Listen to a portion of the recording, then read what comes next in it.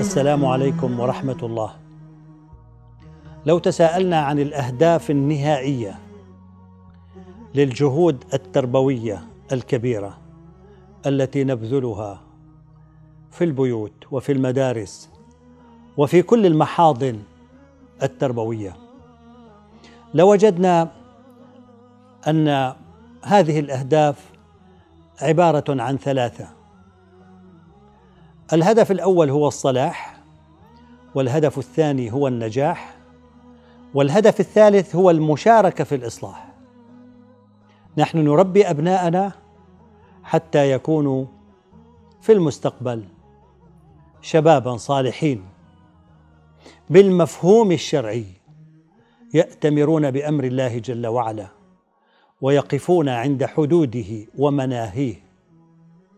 ونربيهم أيضا حتى يكونوا ناجحين.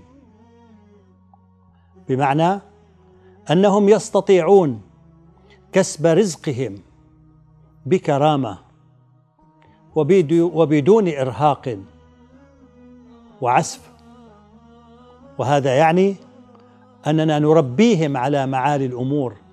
نربيهم على العصامية على الجدية على ضبط الذات. نعلمهم تعليما جيدا. في أفضل مكان تسمح به إمكاناتنا المتوفرة لدينا. أما الهدف الثالث فهو المشاركة في الإصلاح أي أن يكون لهم دور وجهد في إصلاح مجتمعاتهم. فالإنسان المسلم لا يكتمل صلاحه إلا إذا صار مصلحا يأمر بالمعروف وينهى عن المنكر ويشجع على الخير ويحاصر الشرور ويبني في المرافق العامة ويساعد الآخرين ويساعد في حفظ الأمن ويساعد في سلامة الحياة العامة.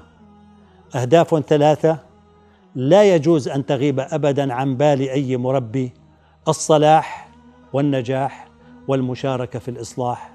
والسلام عليكم ورحمة الله وبركاته.